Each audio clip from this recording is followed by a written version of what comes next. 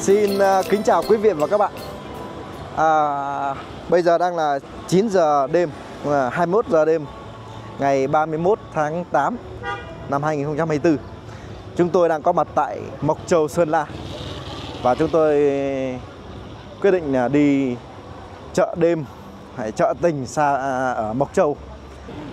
Khu vui chơi phố đi bộ Mộc Châu. Và chúng tôi quyết định vào thăm khu phố đi bộ này xem nó như thế nào. Có một cái đặc điểm rất là thú vị ở Mộc Châu này Chính là một ngày thời tiết sẽ diễn ra trong bốn mùa. Khí hậu ở đây rất là tuyệt vời. À, Đây là một thung lũng của một vùng Tây Bắc. À, Buổi hôm nay tôi thấy là rất ý nghĩa, rất vui. Thời tiết ủng hộ anh em. Hy vọng lần sau có cơ hội tôi sẽ quay lại đây một lần nữa. Đi với ai? Đi với tất cả đội ngũ như hôm nay Ba gia đình. Rất tình cảm và cũng rất là nồng hậu. Món ăn ngon, rượu ngon. Chút uh, chút xíu nữa còn uh, bọn tôi còn đi tắm rau đỏ.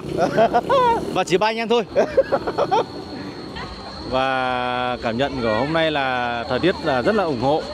Trời nắng đẹp và vừa rồi có một trận mưa rào trong vòng khoảng à, 5 phút thôi. Đấy và bây giờ chúng tôi đang ở phố đi bộ và đây là lần đầu tiên chúng tôi được à, đến cái khu à, phố đi bộ của Mộc Châu và nhìn những cái ngôi nhà thiết kế theo kiểu của Nhật Nhật Bản. Đấy có con sông đấy có con sông con suối này đấy rất là hay. Và đấy các bạn có thể nhìn thấy.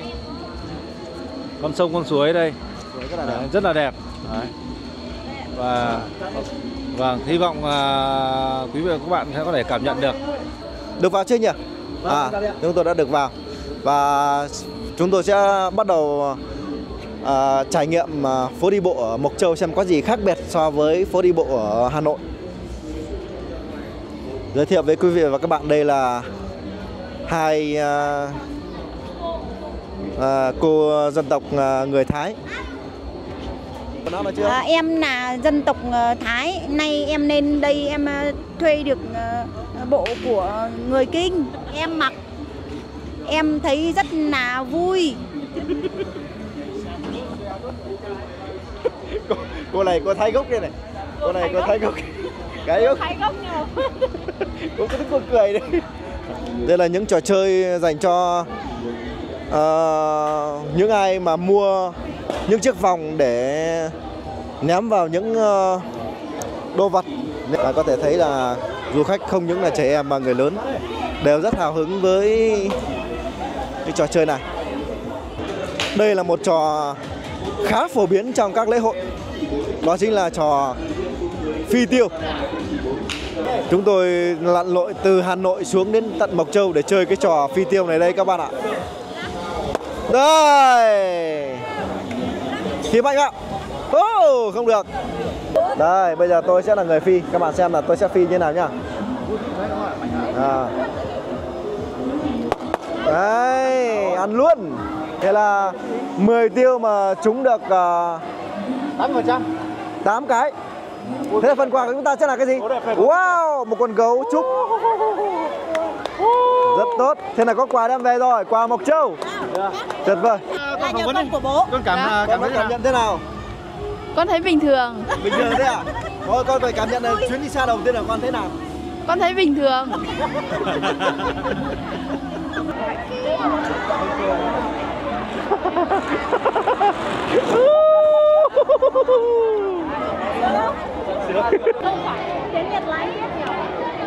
Và bây giờ chúng ta sẽ đi vào một khu vực nhìn rất là giống ở Trung Quốc, cổ kính.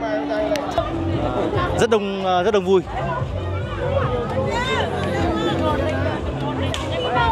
Tôi thấy là cách bố trí ờ, về ngoại ngoại ngoại ngoại cảnh đấy thì ờ, thấy khá ổn. Kiến trúc sư người ta bố trí các loại đèn với màu xanh, đỏ, vàng và cả mũ biển nữa thì ờ, khá giống ờ, với Đây, chúng ta nhìn thấy là một cô ừ. gái. Đây là một cô gái người kinh nhưng mà mặc bộ đồ của đồng bào giờ. Gì đang ờ, bắt mạch à? cái này cũng khá là giống với cái kiểu kiến trúc ờ, đi ở chỗ Quảng Nam nhỉ Ờ, phố cổ Hội An Hội An. ừ. Nói chung là đây là đặc thù của khu này là đi bộ và mang một cái phong cách của Trung Quốc nhiều hơn.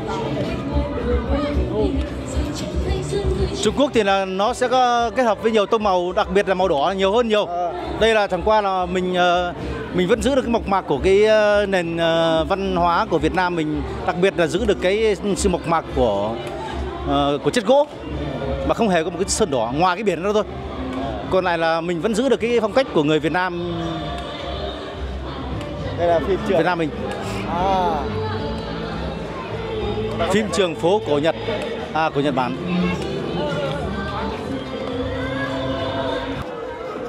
Đây chúng ta có thể thấy là có những cái ngôi nhà bằng gỗ rất là cổ kính và nhìn lên nhìn lên chúng ta thấy một nét mộc mạc của vùng cao Tây Bắc kết hợp với văn hóa hiện đại của các khu vui chơi.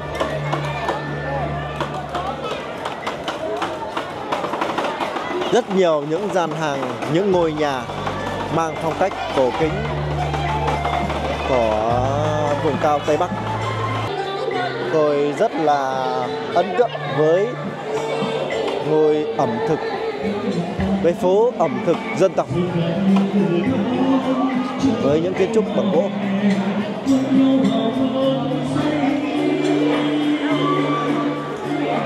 Đấy, con sáu ơi khỏi rồi đây rồi, chúng ta sẽ vào đây là vào phố ờ, đi bộ Mộc Châu.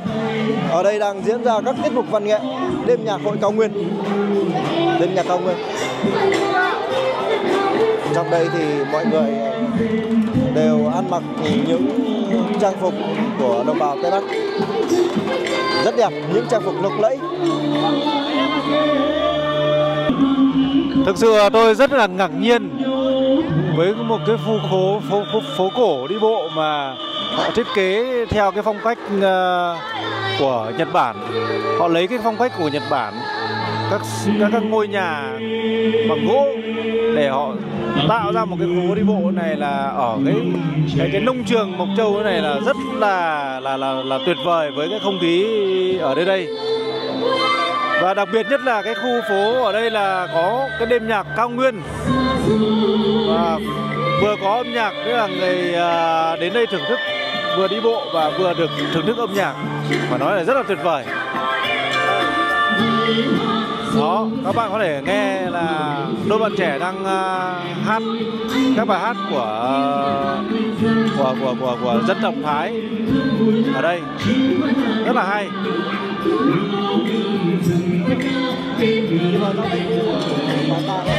ờ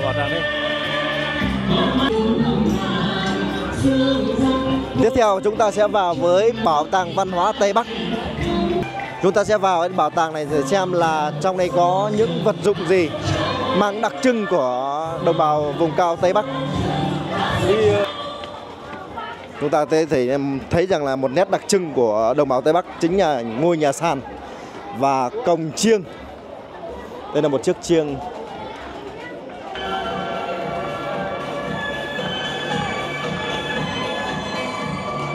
Với à, khung cửi đây là một, một cái bộ khung cửi để thêu dệt lên những à, chiếc váy thổ cẩm tôi rất là cảm thấy à, hồi hộp, vui mừng. Bởi vì là trước mặt tôi là cái cổng trường rất là lớn. Tôi cứ tưởng à, tôi đang ở tây nguyên cơ, nhưng mà không phải. Tiếng cổng tây bắc. Tôi có thể đi vào trong để khám phá xem là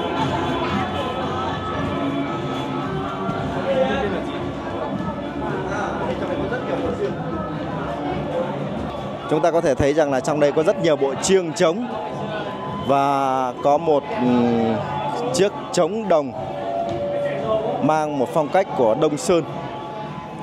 Còn đây chúng ta có thể thấy đây là những chiếc gùi những chiếc gùi của những đồng người đồng bào đi làm lương. Đây là một trong những bộ trang phục của những ờ, người đồng bào Tây Bắc. Những chiếc khăn, những chiếc váy thổ cẩm mang đặc trưng của những người Tây Bắc. Đây là một chiếc nồi đồng và chiếc súng kíp. Chiếc súng kíp thì ờ, là một nét đặc trưng của người dân Hơ Mông. Những người đồng bào Hơ Mông có ba thứ đặc trưng. Thứ nhất là chiếc khen, thứ hai là chiếc ô và thứ ba là chiếc súng kíp. Đó là ba vật dụng mang đặc trưng của người ờ, dân tộc Hơ Mông. Hôm nay đi thì rất là vui, lần đầu tiên được ờ, trải nghiệm và đến với lại mảnh đất ờ, Mộc Châu thì mình cảm thấy không khí cũng rất là thích.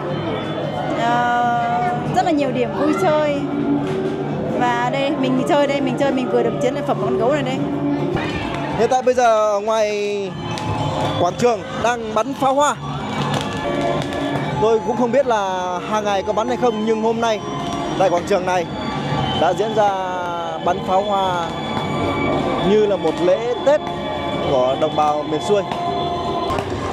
Tại Mộc Châu này thì hàng năm sẽ diễn ra Tết độc lập vào, diễn ra vào ngày 31 tháng 8 đến ngày mùng 2 tháng 9.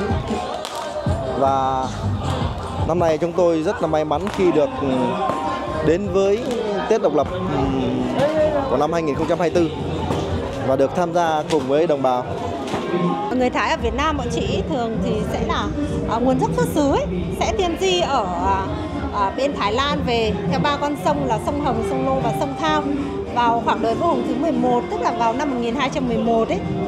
Nhóm thứ hai thì sẽ đến từ Vân Nam Trung Quốc vào khoảng à, thế kỷ thứ 11 và nhóm đến từ Vân Nam này họ đã mang theo hai ngành đó là Thái đen và Thái trắng sinh sống, tồn tại và phát triển cho đến ngày hôm nay.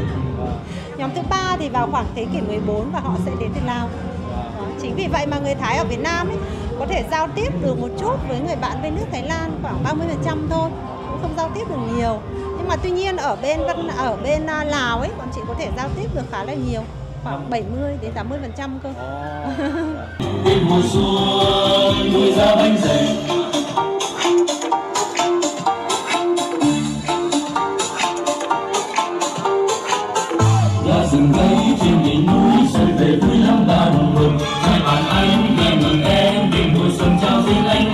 Chúng ta có thể thấy rằng là các cô gái ở vùng cao Tây Bắc với uh, chiếc váy sặc sỡ đang nhảy với điệu múa mùa xuân như một hội làng như một hội mùa xuân vậy. Với những trò chơi như ném còn đá gạo.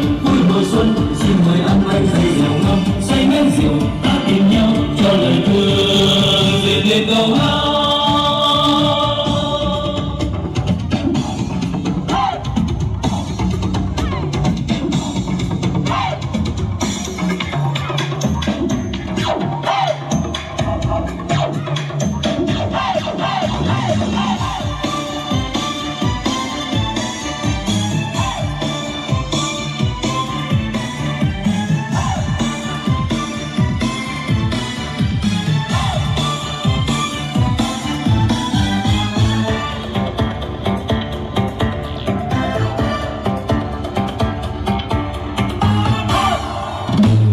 Giữa bao.